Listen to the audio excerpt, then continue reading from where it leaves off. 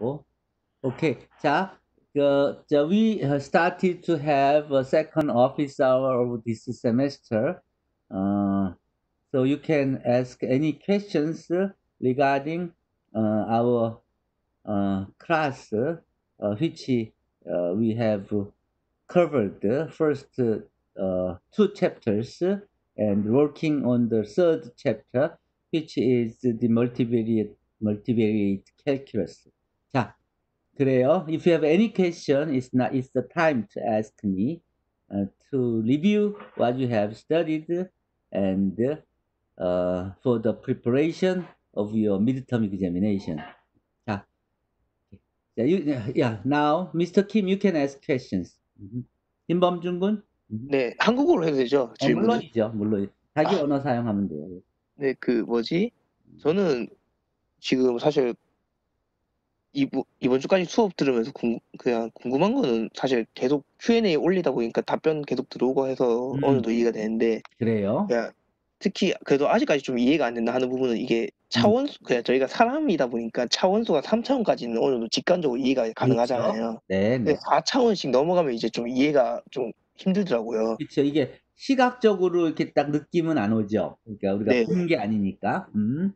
3차원 이상을 본 적이 없으니까. 그래요. 그게 그거 그래서 그걸 좀 이해를 좀 하려면 차라리 그냥 차원을 최대 3차원 정도 놓고 가볍게 이해한 다음에 좀 더 약간 하는 게 나을지 아니면 그런 걸 그냥 이해할 그냥 3차원까지는 이해해 놓고 하는 게 나을지 아니면은 그냥 책에 나온 대로 계속 흐름을 따라가면서 이해하는 게 나을지 그게 조금 음. 궁금해요 공부할 때. 이 우리 여, 여, 그래요. 중요한 질문인데 이 수학을 할 때는 그 네. 물리학적으로 생각하는 것보다 한 단계 더 이렇게 다른 높은 차원에서 생각을 하는 게 맞아요.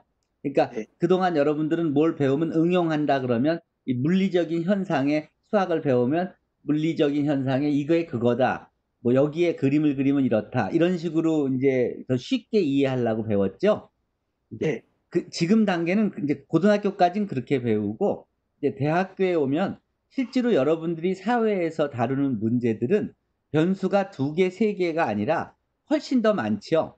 예를 들어 그 convenient store에서 구멍가게에서 다루는 물건의 수 개수만 해도 적어도 200개는 넘죠.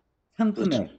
개수가 네. 같은 상품 같은 종류의 어, 물건도 그 가격대가 다르고 그 서플라이어들이 다르고 하니까 그렇죠? 그러니까 적어도 구멍가게 하나를 운영하더라도 그걸 효과적으로 운영하려면 다뤄야 될 변수가 200개가 넘는 거예요. 음.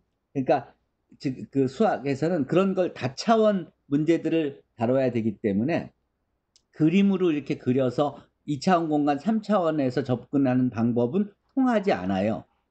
그래서 내가 여러분한테 설명해 준 그 프로젝션 그림 기억나죠? 정사형이요. 정사형. 정사형 할 때 우리가 n차원 공간에서 그, 그 벡터 하나를 이제 그렸잖아요. 네. 그게 어떤 의미로 이해하시면 그 그림을 자세히 보시면 우리가 우리가 우리가 살고 있는 공간이 n차원 공간이다. 그러면 예를 들어 우리가 n차원 공간에 없는 그, 그 다른 그 벡터를 생각할 수 있잖아요. 네. 그, 그래서 평면을 아래 평면을 우리가 살고 있는 공간이라고 예를 들어 우리가 사- 저기 그 이 이 바닥을 n차원 공간이라고 생각하고 그 n차원 공간에 있지 않은 벡터를 이렇게 화살표 방향으로 이렇게 올려서 표시했죠. 네. 그렇게 하고 여기서 이 프로젝션을 생각해서 이 n차원 공간과 이 벡터 사이의 그 차이 그거를 세 축으로 생각했죠. 그래서 n 플러스 1번째 축으로 어, 이해한 거예요. 네. 그게 어떤 의미냐면 지금 여러분들은 우리가 살고 있는 공간이 3차원 공간이라고 생각을 할 수 있겠지만 실제로 이 물건이 이렇게 있어 이 전화기가 이렇게 있었 있다 그러면 이게 지금은 여기 있었죠. 네. 그렇죠? 근데 조금 있다가 여기에 있을 때 이 똑같은 변한 건 하나도 없는데 지금 이 위치가 변해 있었죠? 변했죠?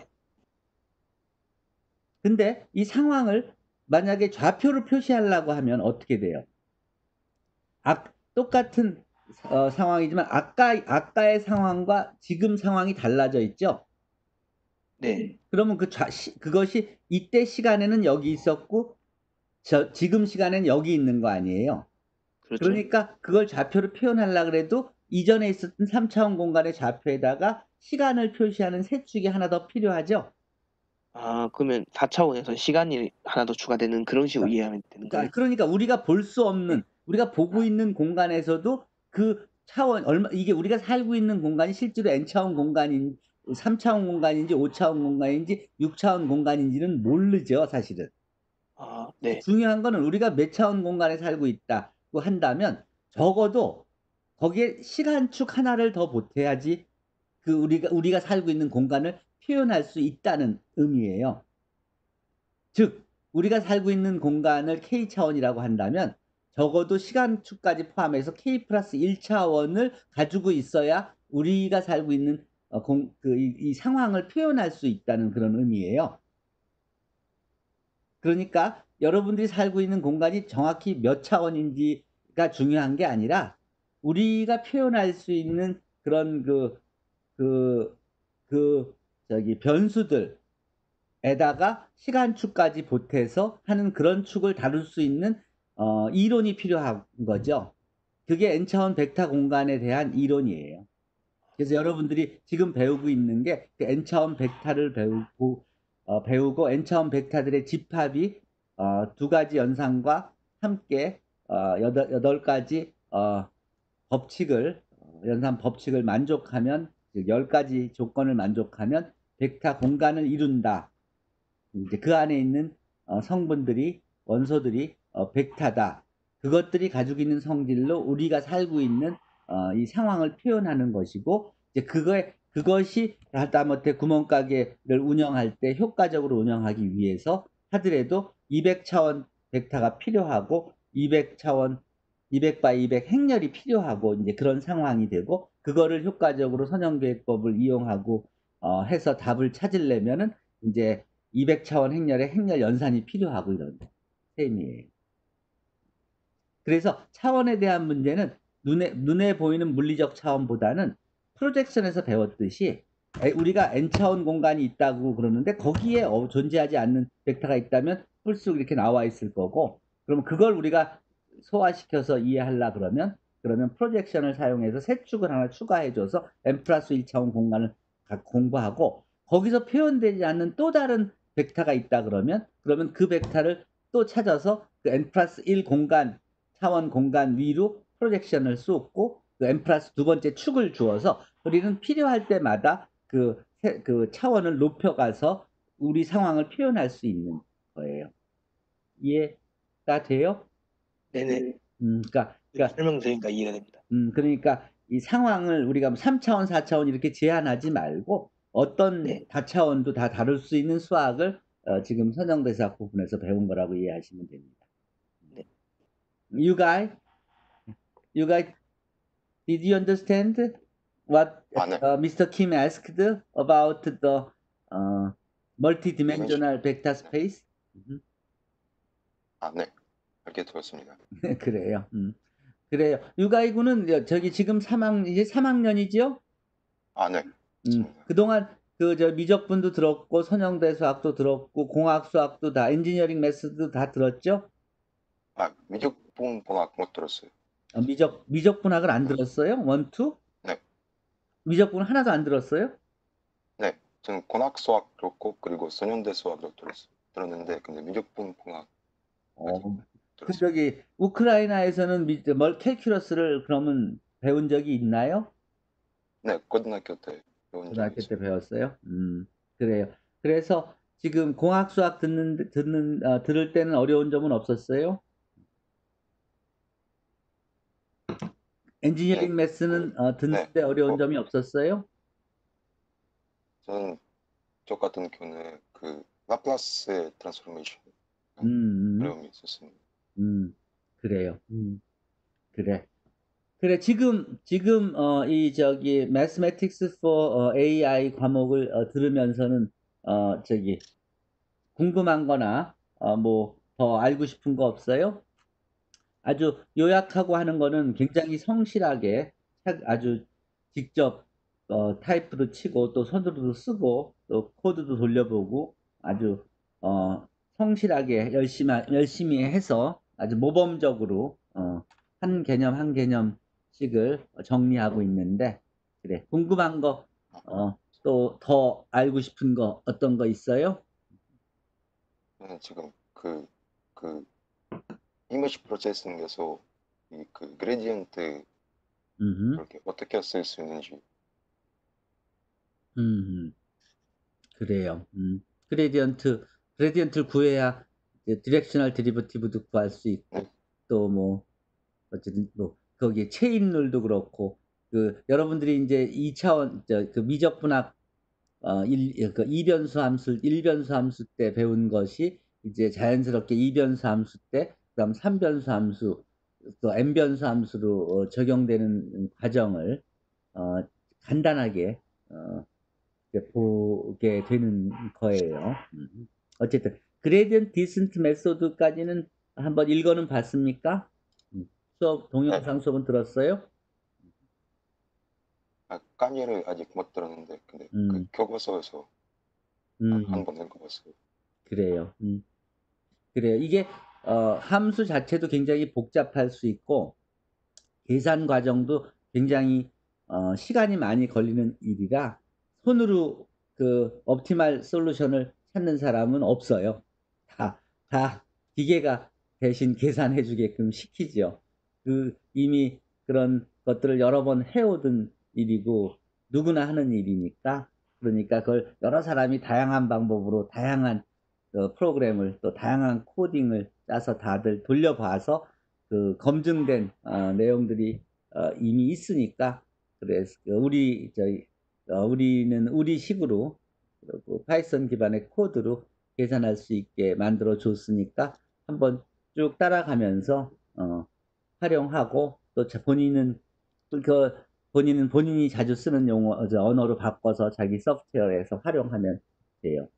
저기 유가이 어, 유가이군은 그래 어떤 어 저기 소프트웨어를 어떤 언어를 주로 사용해요 요새? 파이썬하고 C, C 음, Python하고 C를 주로 사용하죠. 그러니까 지금 언어 지금 어, 세이지나 뭐 R 지금 소개한 것들 책 따라가는 데는 어려운 점 없죠? 음, 네. 네, 세이지는 저는 음. 그 작년에 써본 적이 있는데 음, 조금 음, 그, 그 세이지 사용할 때 음. 약간 어려움이 있, 있었을 것 같아요. 네. 그래요. 음, 어려 별로 어려운 점이 없죠.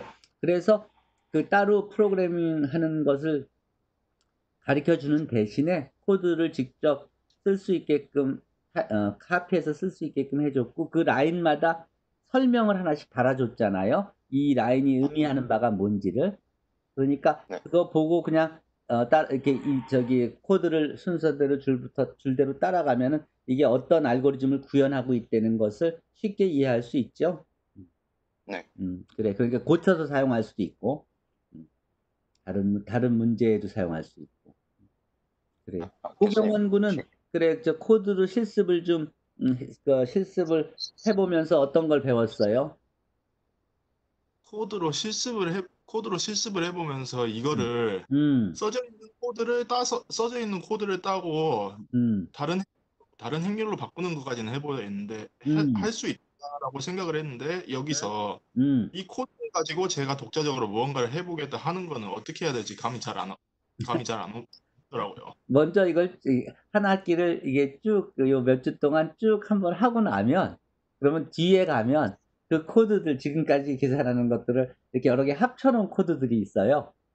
예. 그러면 굉장히 복잡한 것도 한 번에 다 단계를 거쳐서 해주겠죠?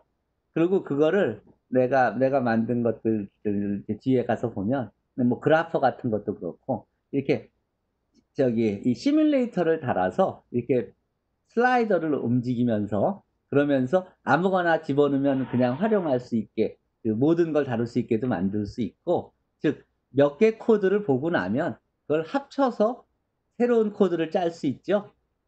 그래서 그냥 그 자기가 원할 때는 앞에 걸 쭉 배운 것들을 편집해서 여러분들이 필요한 코드를 만들어서 여러분들이 그 원하는 일을 할 수 있게끔 돼요. 그게 이제 gradient descent method라든지 뭐 Newton's method라든지 더지 SVD하고 저 principal component 구하고 하는 뒤에 부분들이 다 앞에서 배운 고유값도 구해야 되고 singular value도 구해야 되고 고유 벡터도 구해야 되고 그리고 이제 그런 것들 이용해서 순서도 배열해야 되고 그런 것들을 앞에 구해 놔야지 그 다음에 다른 명령을 줘서 배열해서 그 중에서 뭘 골라내고 이럴 거 아니에요? 그게 이제 뒤에 파트 4, 5에서 하는 내용이에요.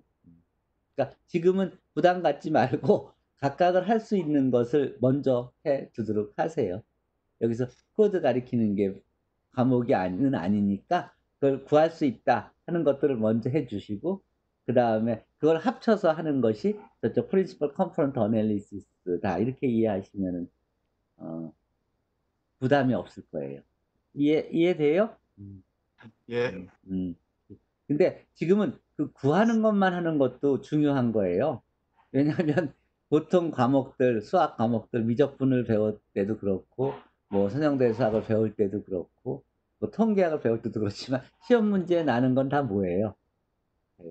뭐뭐를 구해라 그러는 거 아니에요? 랭크를 예. 구해라, 역행렬을 구해라, 어, 행렬을 분해해라 이런 거잖아요. 그걸 먼저 할 수 있어야 그 다음 일은 어, 할수 있으니까 먼저 지금 구할 수 있는 것만 하는 것도 다 굉장히 중요한 거예요. 코드를 이용하면 하나만 배워두면 굉장히 복잡한 것, 또 사이즈가 큰 것도 복잡한 함수도 변수가 많은 함수도 또 사이즈가 큰 행렬도 다 다룰 수 있잖아요. 손으로 하면은 예. 5차 행렬 주고 고유값 구하라 그러면 구할 수 있어요? 저는 아마 3차 행렬도 손으로는 못 구할 것 같습니다. 3차 행렬은 그래도 근의 공식이 있으니까 어쨌든 복잡하더라도 구할 수는 있어요. 근데 예를 들어 5차 행렬이라 그러면 5차 행렬에 저기 고유값을 구하려 그러면 5차 다항식을 풀어야 되죠. 5차 다항식의 근을 구해야 되죠. 그근 예. 어떻게 구해요? 어떻게 인수분해가 될까요? 딱 답이 3, 5 막 이렇게 딱 떨어져요. 보통의 식들이. 그러니까 그 인수분해나 이런 방법이 안 되죠. 일반적으로. 그러면 그거 근의 공식으로 구하, 구하면 좋을 텐데 5차 다항식 근의 공식이 있어요?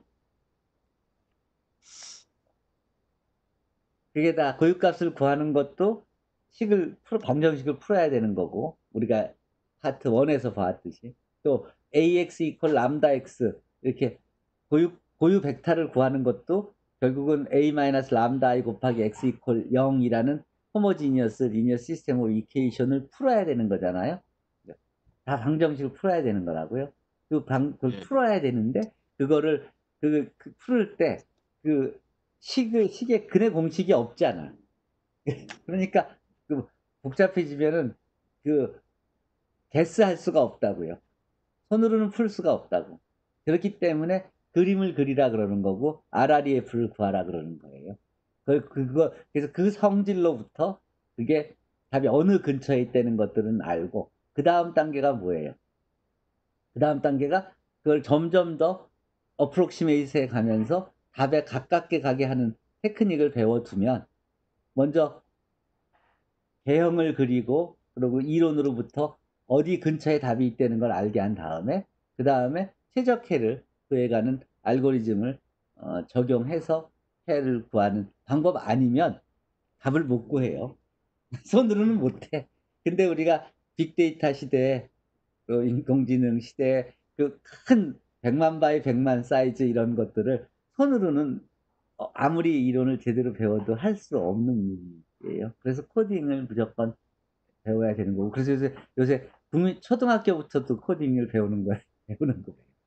수학은 물론 그 이전에, 이전부터도 배우지만, 어렸을 때 유치원에서부터도 이렇게 counting 하는 것부터 배우지 않아요? 네? 음, 수학을 배우고, 그 다음에 그것을 이제 일반, 이제 우리가 사- 실제 문제에 적용하려면 코딩을 배워서 어, 사용해야 돼요. 근데 더 중요한 건, 그, 중요한 건 그 코드를 이용해서 답을 구한 게 맞는 답인지 틀린 답인지, 그거를, 그거를 확신, 그거에 대한 확신이 있어야 되잖아요. 그렇잖아? 컴퓨터가 구해준 답이, 그게 맞는 답이 아닐 수- 경우도 많이 있을 수 있잖아요. 그러니까 우리가 네. 쓴이 코드는 그러니까 이런 조건에서 주면 이 나온 답은 정확한 정답이라는 거에 대한 확신이 있어야 되는 거라고요. 그 증명을 먼저 해야 된다고. 그걸 알고 있어야 돼요. 그- 그거를 적어도 제가 이 쓰는 이것이 이런 조건에서 이렇게 쓰면 여기 나온다고 믿어도 된다. 하는 그거는 알고선 써야 된다. 왜냐하면 어떤 경우는 그렇지 않은 이 조건에 안 맞는 경우도 있을 수 있을 거 아니에요. 그때는 지금 가지고 있는 코드를 고쳐서 그래서 답을 구해야 될 필요가 있기 때문에 그거를 그 전체적인 큰 그림을 큰 이론을 적어도 어, 대략적으로는 알고 있어서 예, 변형시켰을 때는 다시 확인하고 또 물어보고 어, 그래서 이렇게 변형시킨 것이 주는 답이 답이 믿을 수 있는 답이라는 것에 대한 어, 그런 확신이 어, 있어야 그 다음부터 그걸 쓰죠. 그게 잘못되면은 우리가 미사일을 쏘는데 올라가다가 중간에 폭파되고 올라가지도 않고 또 저쪽에 보내려 그러는데 엉뚱하게 옆에 가서 터지고 그렇게 되는 경우가 생기는 거예요. 그 피해가 엄청나게 크잖아요. 예. 그렇죠? 음, 그래요. 음. 그래요. 그렇기 때문에 이 컴퓨터를 쓸 때는 컴퓨터를 써서 실제 문제를 해결할 때는 그 지금 우리가 배우듯이 그 기본 이론들을 대충은 알고 있어서 그래서 나온 답을 가지고 이게 맞는 답이냐고 그걸 물어봐서 검증할 수 있는 어, 팀이 있어야 돼요. 음. 그러니까 그 아는 전문가들을 어, 누구 이 누군지는 알고 있어야 된다고요. 우리 수업을 같이 들으면서도 아 이게 물어보면은 그러면 그걸 하- 답을 해주는 사람들이 누군지는 알고 있어야 나중에 나중에 비슷한 문제를 풀다 맥히면 그 사람한테 물어주면 내가 그렇게 얻은 답이 맞다 틀리다 하는 것은 확, 확인해 주신 사람이 누군지는 알고 있어야 그래야 나중에 큰 일을 하지 중요한 일을 맡아서 책임 있게 실수 없이 하지 그냥 혼자서 끄적끄적하고 해봐서 아 할 수 있다 이렇게만 생각해서는 실, 굉장히 실수하면 안 되잖아요. 실수하면 몇천 몇천만 불이 그냥 한 번에 하늘에서 날아가는 거 아니에요? 인공위성물이 쏘아 올릴 때 실수하듯이. 그러니까 진짜로 이런 걸 적용할 때는 그, 그, 그 자기가 얻은 답이 정답이다 아니다에 대한 확실한 확신이 있어야 돼요. 자, 화면 공유를 좀 해볼까요? 어, 우리가 여기다 놓고 음, 화면 공유를 음, 어, share share 웹 브라우저 자, 어 이게 뭐야? 웹 브라우저 어, 웹 브라우저 하지 말고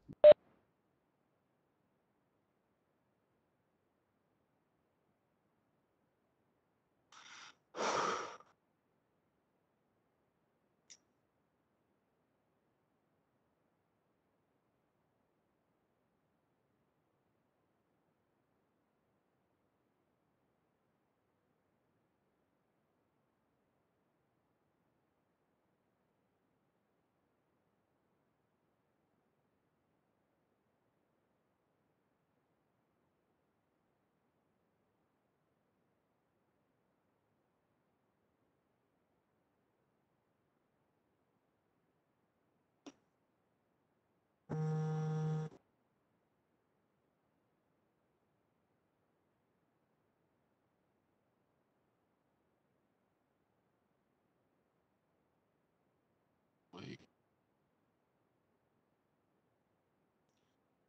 마이크가 안 나오는 것 같습니다. 아, 그, 제- 내 말은 들려요? 지금 어느 화면이 보입니까? 문의 게시판 화면이 보입니다. 오케이, 됐어요. 그러면, 그러면, 어, 저기, 저, 간단히 설명해 줍시다.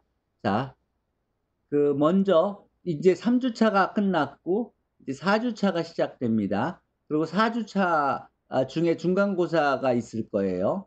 중간고사 문제는, 어, 저기 이전에 이미 보여드렸듯이, 샘플을 보여드렸듯이, 이번 학기에 여러분들이 Q&A에서 요약하고 또 물어보고, 다른 학생들이 정리한 것들, 이제 답한 거, 또 다른 학생들이 질문과 답변한 것을 고치거나 또는 거기에 이제 본인이 어, 커- 어, 정리해서 어, 이해했다고 코멘트 단 것들 뭐 그런 것들. 그래서 이제 결과적으로 여러분들이 하나 그러니까 요거에 대해서 정확히 이해했다 하는 깨우친 것들 그런 것들이 되게 어디 있냐면 그 제목에서 final OK로 검색을 하면 또는 자기 이름을 검색을 하면 이렇게 그 자기 이름이 들어가 있는 어, final OK에 자기 이름이 들어가 있는 것들이 쭉 나오겠죠?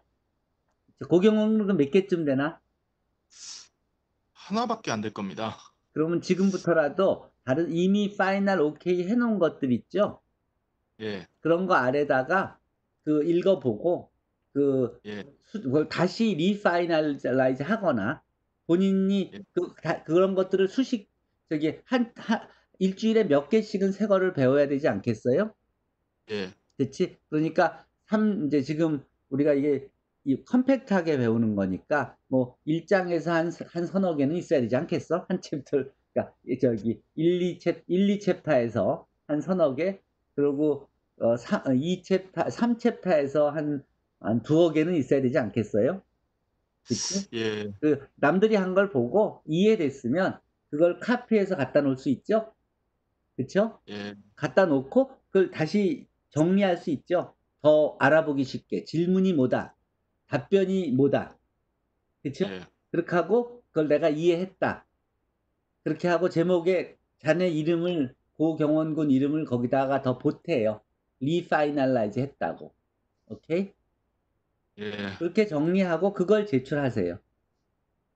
그런 거는 몇- 그런 게 최소한 그 저기 일주일에 그 뭐 한 세 개씩은 있어야 되지 않나 하는 게 내 생각이에요.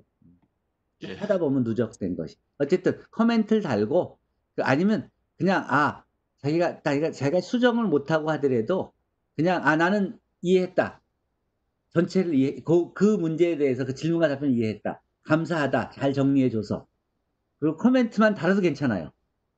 예, 그래 어쨌든 그것들을 모아서 제출을 하면 어 그거 개수 그, 그 개수가 몇 개인지 보고 그 양과 질로 여러분들 성적을 줄 거예요. 중간고사 성적을. 아무래도 다른 사- 다른 분들 다른 분들은 음. 막다 이해한 거가 이해하고 자- 명료하게 다는 것 같은데 저는 저는 뭔가 두리뭉실하게 떠 있, 이해가 잘 안 돼가지고 여기에다가 질문을 해도 답변을 달기가 애매 애매해서 잘 안 하는 경향이 그럴 수도 있었거든요. 있죠. 근데 근데 고민하지 말고 누가 질문하고 누가 답변했는데 그걸 쭉 읽다가 맥힌 부분 있잖아요. 본인이 막힌 예. 부분. 그 막힌 부분에 대해서 물어봐요. 그 예. 훈련이 굉장히 필요한 거예요. 이게- 그게 왜 필요한지 왜 필요하냐면 앞으로 고군도 고군이 평생 공부해 배우 새로운 지식이 계속 나오니까 지금 인공지능도 새로운 지식이잖아요. 새로운 지식이 예. 계속 나오니까 그 나오는 것들을 이제 배워가다 보면 읽어가다 보면은 맥히는 게 생기잖아요. 그 고비를 하나씩 하나씩 넘어가면서 오래 하다 보면 결국은 그 높은 수준까지 도달하지 않겠어요? 아, 그러니까 예, 그 막혔을 때 그거를 그, 그 나이스하게 물어봐서 어, 아는 사람이 고군한테 답을 줄 수 있게끔 그런 그 답을 얻는 과정을 경험을 해야 돼요.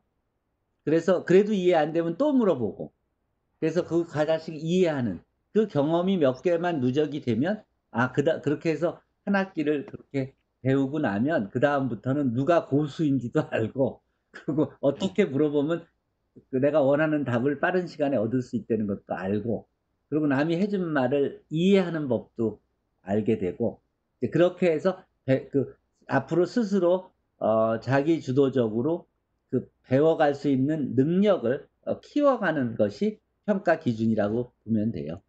알고 있냐 모르고 있냐는 별로 중요하지 않아요. 그래서 예, 자기를 임프루브 시켜갈 수 있냐. 그리고 아까 얘기했듯이 여기서 꼭 알아야 될 것은 행렬의 그 뭐 rank라든지 뭐 그 역행렬이라든지 뭐 이런 것 RREF라든지 다 중요한데 그게 다 모여 있는 게 singular value decomposition이라고 그랬잖아요. 그리고 실제로 예. 쓰이는 게 SVD고. 그러니까 SVD가 뭔지는 분명히 이해해야 돼요.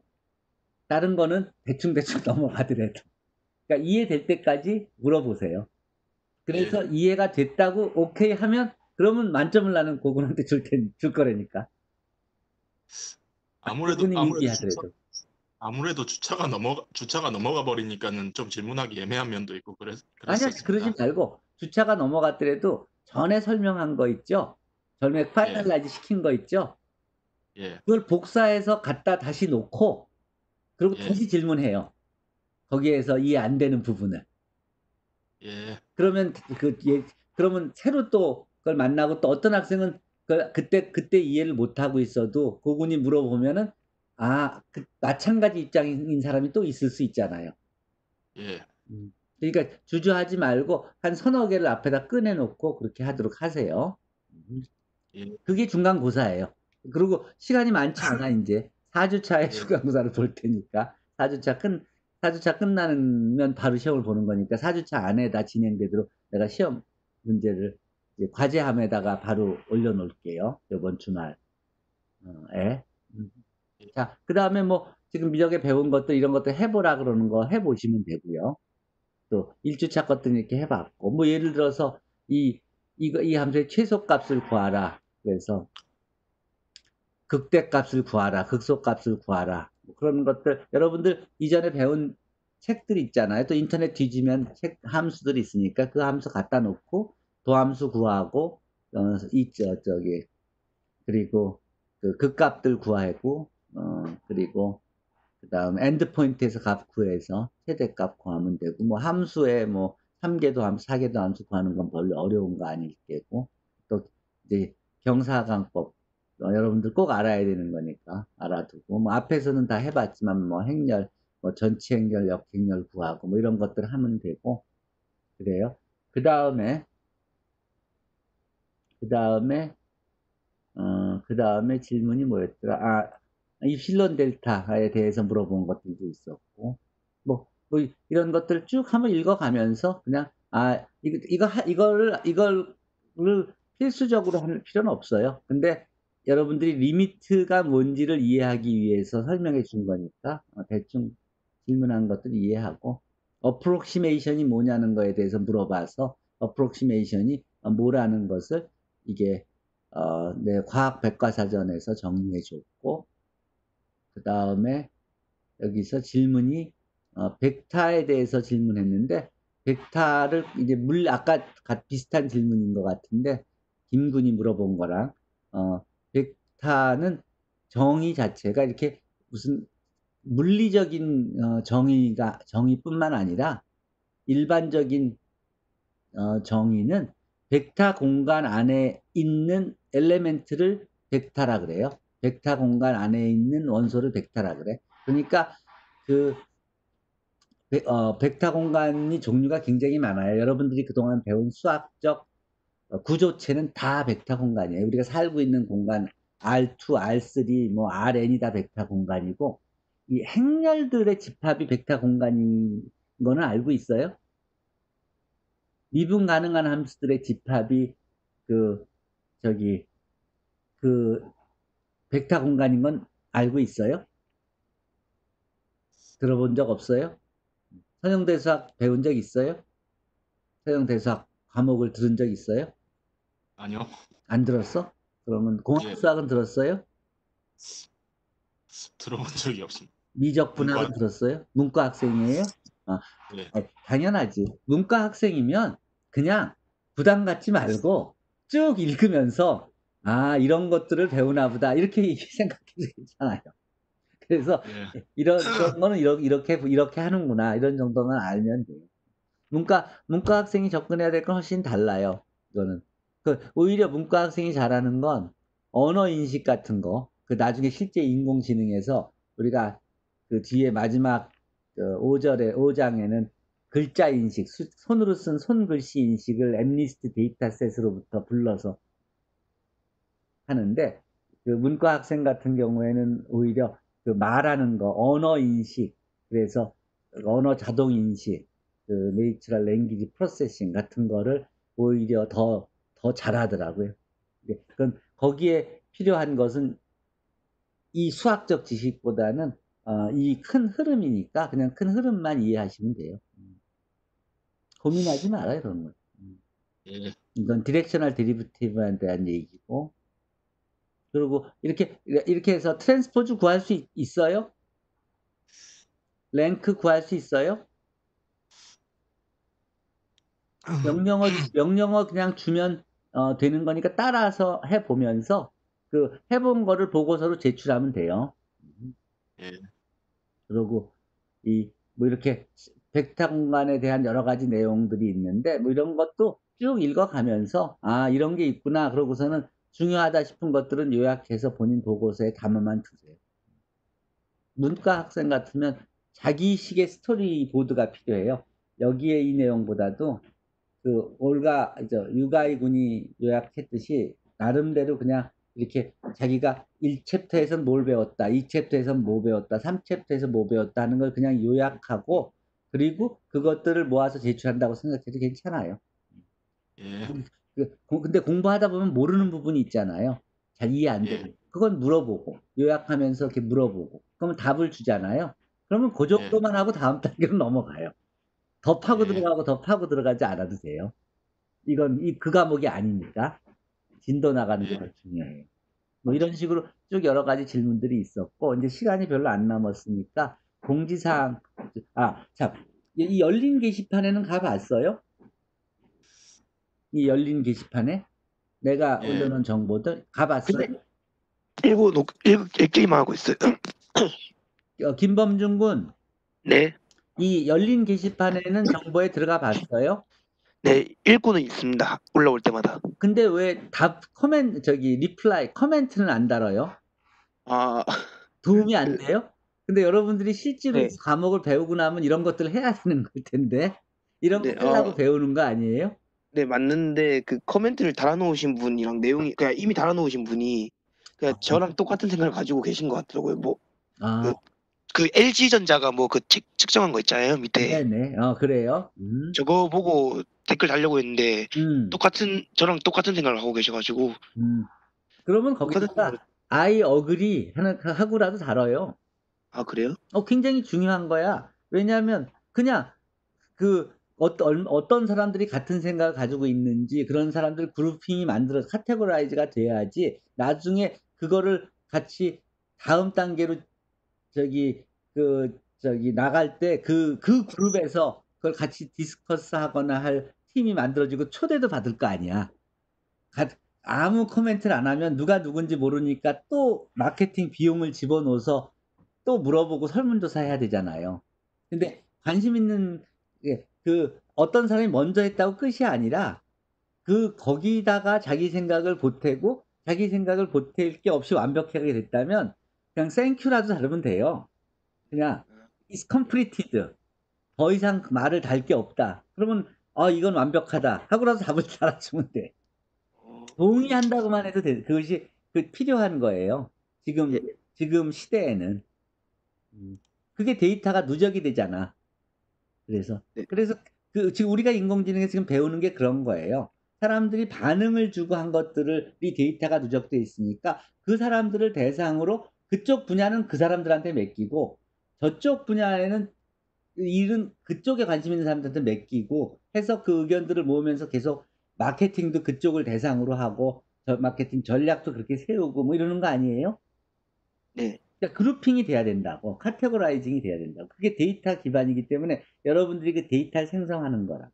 요번에 우리 요번 학기 우리 수업하는 것도 그런 거잖아요. 우리가 네. 서로 이 지식을 계속 생산하고 있는 거 아니야? 질문을 하는 것도 내가 지식을 책을 만 쓰고 내 책을 그 웹에다가 올려주고 또 여러분 자료를 주고 그 지식을 생산한 걸 공유하는 거 아니에요? 맞습니다. 그리고 또 그걸 설명해주고 그럼 여러분들이 네. 그걸 이용해서 보고 무- 어, 이해한 거 또 저기 궁금한 걸 물어보면서 또 새로운 지식이 이렇게 생성되는 거 아니에요? 맞습니다. 문제를 내가 좀 풀고 그러면 또 새로운 지식이 생성되는 거잖아. 그걸 고치고 뭐 그렇게 해서 더 완성상 더 완성시켜서 그걸 더 공유하고 하면서 여러분들이 이번 학기에 배워야 될 내용은 그러니까 지식을 어, 생산해내는 능력을 그 경험을 갖는 거예요. 그 여러분들은 엄청난 지식을 소, 소모, 소비하고 살고 있거든요, 지금. 근데 그 소비가 습관이 되면 그러면 여러분들 그 지식을 이렇게 비용을 주고 사게 되잖아. 근데 계속 소비만 하다 보면 여러분들이 가난해질 거 아니야. 네. 여러분들 한- 여러분들이 세- 지식을 생산해내서 다른 사람들이 이걸 보면서 여러분한테 포인트라도 주고 뭐 점수라도 주고 비용을 지불해야지 여러분들도 또 다른 걸 살 수 있는 그런 그 부가 축적이 되지 않겠어요? 그러니까 여러 여러분들은 이 자꾸 질문하고 답변하고 하면서 이 지식을 생산해내는 그런 경험을 해야 돼요. 그걸 그게 이제 나중에 보고서가 되고 그것이 논문이 되고 또 창업이 되고 이렇게 되는 거예요. 예. 그래요. 그 오늘은 저희 시간이 이제 거의 다 됐으니까 마지막 코멘트 한 마디씩만 하고 그러고 어, 마무리 하십시다. 그래. 자, 그저 고군 예, 어 그래요. 자, 그 마지막 코멘트 하고 어 그러고 질문합시다. 이거는 이제 sharing은 닫고 stop sharing하고 자 질문 있으면 질문하십시다. 음 그래요. 음. 음, 자 코멘트 맞아. 오늘 수업하고 혹시 더 궁금한거나 아니면 오늘 뭐 기 그 저기 어 도움이 된 내용이 있으면 그건 공유하도록 하세요. 다른 저기 오늘 얘기한 것 중에서 어, 중요한 내용 내가 얘기해 준 거 생각나는 게 있으면 예. 그러면 그 Q&A에 오늘 내용을 어, 정리해서 지금 이 내용을 그냥 정리해도 괜찮지. 음. 아, 아무래도 질문하는데 좀 꺼리는 게 있었는데 이번에 지- 이번에 이 시간 가지면서 좀 음. 그거를 줄일 수는 줄일 수 그 더 적극적으로 질문하고 그럴 수 음. 있을 것 같습니다. 그래요. 이 과목은 여름에 우리가 도전할 게 듣는 건데 뭐 지식을 측정하고 뭐 누가 몇 점 받냐 이런 걸 따지는 게 아니라 이거 절대 평가예요 이번 과- 이번 학기는. 그러니까 부담 갖지 말고 그냥 그냥 자기가 조금 더 몇 개를 깨우친다. 여러 그 관심이 비슷한 사람들과 그리고 자기가 관심 있는 부분에 대해서 그런 정도로 생각하고 부담 없이 그냥 쭉 진행해요. 물어보고 답하고 그래요. 김범준 군. 네. 자, 코멘트, final comment please. 어, 어, 이번 시간 가지면서 좀 그래도 음. Q&A 통해서도 약간 Q&A가 텍스트 위주다 보니까 음, 좀 자세하게 이해 안 되는 부분도 아까 제가 질문 드려서 좀 약간 그래요. 좀 더 자세하게 설명을 얻을 수 있었던 것 같고 네. 또 이제 남은 중간 과제 중간고사 같은 경우도 음. 지금 교수님께서 설명해 주셨잖아요. 아 근데 또 음. 질문이 있는데 음, 중간고사 같은 경우 그래요. 음. 그 열린 문제가 이번 주거 4개 있고 그 밑에 또 16개 있잖아요. 그거 그 일점 일장 할 때 이미 다 했어요. 네네 다다다한 있어. 거, 어. 네, 별로 다 중요한 거한 아니에요. 거였는데 네네. 그것도 혹시 그러면 그 Q&, PBL 보고서에 올려야 되는 건가요, 다? 안 올려도 돼요. 아, 안 올려도 되니까? 그게 다 쉬운 거잖아. 네. 다. 아, 그 다 올려야 되는 건지 알고 분량을 네. 그냥 네. 보고서 작성할 때 빼먹을까 봐. 생각해봐요. 네. 50명이 다 그 쉬운 문제를 다 풀어서 제출한다는 게 무슨 의미가 있겠어. 한두 명이 그렇죠. 해보면, 아, 이렇게 하는구나, 그러고 알면 그만 아니겠어요? 네, 맞습니다. 오히려 그걸 그런 걸 하면서 보면서 공부하면서 자기가 막혔던 부분, 궁금했던 부분을 물어보고 답하고 해서 깨우치는 거 있잖아요. 그 네. 깨우치는 것들이 몇 개이냐, 그것의 quality가 어떠냐, 이제 그런 그걸 얼마큼 잘 정리했느냐, 그게 평가 기준이지. 그 뭐 양이 많다, 개수 뭐 이런 거 별로 중요하지 않아요. 음. 아, 네. 중요한 건 SVD를 이해해야 되고 gradient descent method를 이해해야 되는 거예요. 그리고 네. 실제로 실제로 SVD 구해보고 그리고 gradient descent method를 실제로 한번 적용해 봐서 그래서 어, 저, 저기 최적해를 찾아가는 그런 것을 할 수 있는 능력을 키우는 게 중요한 거예요. 네. 그걸 해본 사람과 안 해본 사람을 구분해서 성적을 주려 그래요. 그게 보고서에 나타나야 된다는 거죠. 그렇죠? 해본 걸 공, 제출해야죠. 오케이, last. You guys, Mr. Alexander, Alexander. 그 물대표 자원하고 그리고 그 음. 그레디언트에 대해서 교수님이 잘 설명해 주셔서 네, 이해가 잘 되었습니다. 음, 오케이. 어, 그러면 오늘 이제 우리가 Q&A에서 오늘 그 오피스 아워에서 얘기 그러니까 같이 얘기한 내용들에서 본인한테 도움이 됐던 내용 또는 우리 반 다른 학생들이 또에게도 알아두는 게 주- 어, 도움이 될 내용, 시험에 관련된 내용이라든지 또 질문 답변하는 것도 너무 너무 많이 공부하지 않아도 된다는 거. 그냥 자기 수준에서 조금 임프루브 시키면 된다는 거. 뭐 이런 내용 정도를 저 Q&A에서 어 저기 이렇게 어, 커- 어, 공유해주고 그리고 오늘 office hour를 마치도록 합시다. 그래요. 수고들 많았어요. 음, 수고했어요. 음. 수고했어요. 감사합니다. 음, 감사합니다. 그래요. 다음 주에는 시험 문제 낼게 그거 보고 잘 맞춰서 중간고사에서 좋은 성적들 받길 바라겠어요. 고군, 네. 김범준 군, 유가이. okay, bye. 음. 네. 그래요. 어. 음.